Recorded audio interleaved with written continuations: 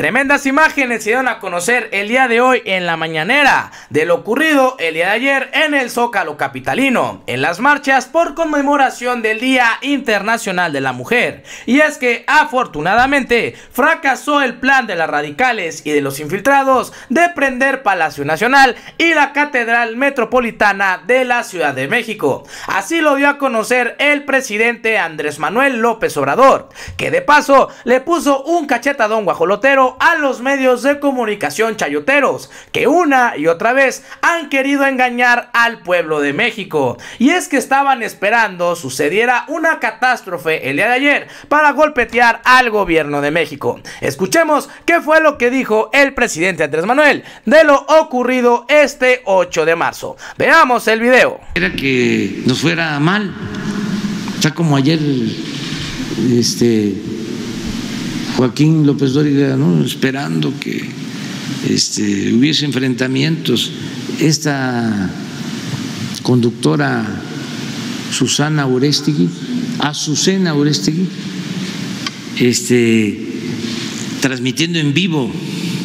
Bueno, eh, cuando se trata de una movilización así, transmiten en vivo todos los medios. Es como cadena nacional.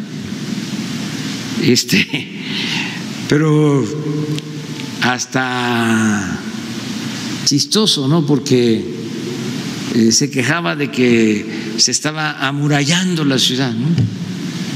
¿No tienes ahí su este texto? Y luego le contesta Pedro Miguel que no se estaba dando cuenta que ella estaba transmitiendo desde Milenio que estaba amurallado,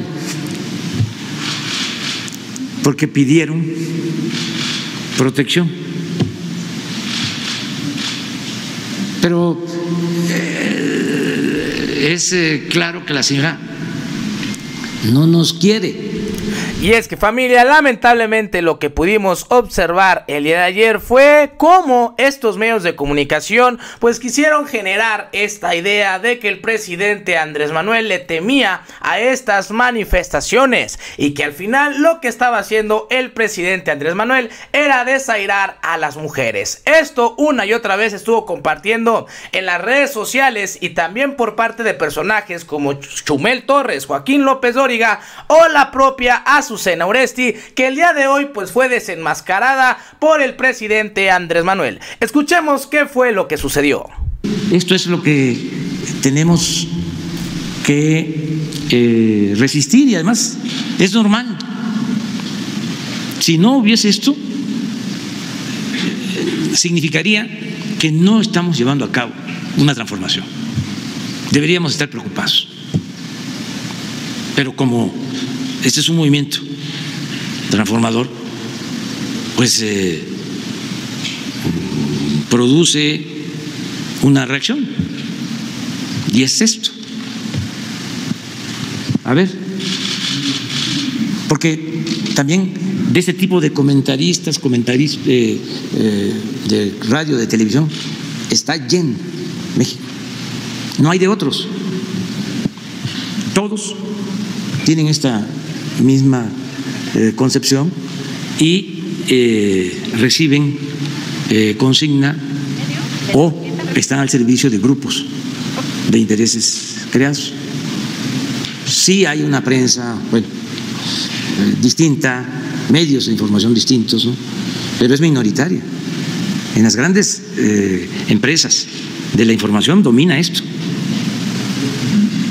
¿No, no tienes el audio? De las Libertades es hoy una ciudad amurallada.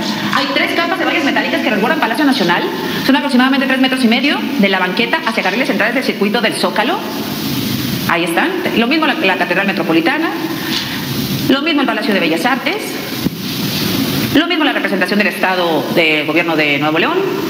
El hemiciclo a Juárez. Ahí está, ahí está el hemiciclo a Juárez. Han trabajado mucho, han invertido mucho. El Banco de México. La glorieta de las mujeres que luchan, donde saben de antemano que habrá una parada de las mujeres porque así lo han anunciado. El Ángel de la Independencia, desde donde va a partir una de las marchas, una de las colectivas. Todos los lugares están amurallados.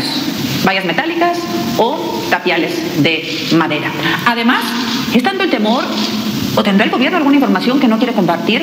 Que el mismísimo general Luis Rodríguez Bucio, comandante de la Guardia Nacional en persona, supervisa esta noche las instalaciones de las vallas metálicas frente a Palacio Nacional. Pues es su trabajo del, general. Pero miren, eh, no tienen un fragmento. Ah, bueno, eso es lo que contesta este Pedro Miguel. Sí, este es eh, el edificio de Milenio. Y ellos pidieron que se les protegiera y desde ahí estaba ella transmitiendo. Pero a ver, ¿no tienen algunas imágenes de ayer de cómo le pegaban a la valla? En catedral, fíjense, un, un asunto, ¿no? Este, muy especial. El gobierno de la ciudad no tuvo vallas, que está aquí, en el Zócalo. Y ahí nadie protestó. ¿Dónde? Eh, fue la protesta esta violenta. La catedral y palacio. Porque, como diría Joaquín López Obrador, la nota es la nota. Eh, aquí lo que querían pues era el choque, el meterse, el palacio en llamas, ya no el llano en llamas, la gran novela de Juan Rulfo, sino el palacio en llamas. Presidente, si me permite, quisiera preguntarle sobre otro tema. Eh, a pesar de la gravedad de los hechos violentos registrados el fin de semana en el Estadio Corregidora de Querétaro, ayer la Federación de Fútbol aplicó unas sanciones, pues básicamente ridículas. Y es que familia, hay que ser sinceros, lo que sucedió el día de ayer nos demuestra cómo estos medios de comunicación y también eh, estos personajes pues quieren generar esta idea que perjudica a las y los mexicanos. Ahora sí pasemos a estas imágenes que se van a conocer el día de hoy en la mañanera de lo que sucedió lamentablemente el día de ayer en estas marchas por los colectivos y grupos feministas. Y ojo aquí, el mismo presidente Andrés Manuel lo reconoce. Lamentablemente hubo infiltrados y es que se mostraron en las imágenes hombres que estuvieron generando estos desmanes a las afueras de Palacio Nacional y de la Catedral Metropolitana. Veamos el video. El gobierno, afortunadamente, el pueblo de México es mucha pieza. Mucha pieza. No tienes eh, de, las, de las vallas. Bueno, este es. Sí, pero no, está bien eso que se, este es el metro. Eh, eh, aquí se les cayó el. Mira, esta es la valla, pero ahí debe haber otras, ¿eh? que no estén. Ahí está, mira. Se quitaron como 60 martillos, sopletes, marros. Pero a ver si no hay una imagen. Ahí está, está más. Ahí está el palacio atrás. Ese es humo de extintores para apagar el, fuego. Eh, esta es una franja de enfrente del palacio y de la catedral. En la plancha del Zócalo la gente, mujeres,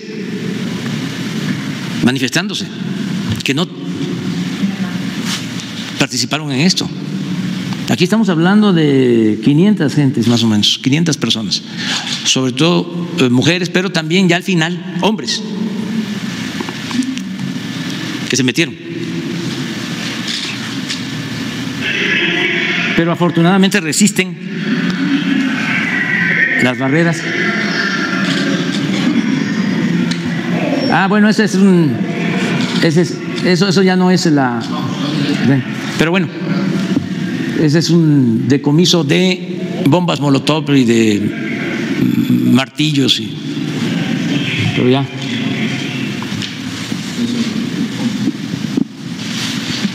Finalmente. Prevenir, o sea, por lo que dices del, fútbol. Sí, este, comentaba yo que cuando antes, y yo creo que sigue eh, haciéndose, cuando hay estos juegos de eh, Pumas América, eh, América Chivas, Pues ahí está familia lo que dijo el presidente Andrés Manuel López Obrador. Y es que al final, como pudimos observar en las imágenes, lamentablemente pues esta situación eh, pudo ser más grave. Sin embargo, como también lo reconoce López Obrador, eh, estas eh, manifestantes que acudieron el día de ayer en el Zócalo Capitalino se comportaron a la altura. Y es que están exigiendo sus derechos y tienen una... y tienen al final una eh, situación que es clara y contundente y que se debe de respetar, pero siempre se deben de apegar a cuidar los derechos de terceros y esto fue lo que dijo el presidente Andrés Manuel. Excelente la noticia y es que al final no estuvimos viendo en los medios de comunicación situaciones catastróficas que obviamente todas y todos lamentaríamos. Y bueno, ese sería prácticamente toda mi parte. Si a ti te gustó este video, te invito a que te suscribas a este canal y le des click a la campanita. Yo soy Pepe Ramírez y nos vemos hasta la próxima.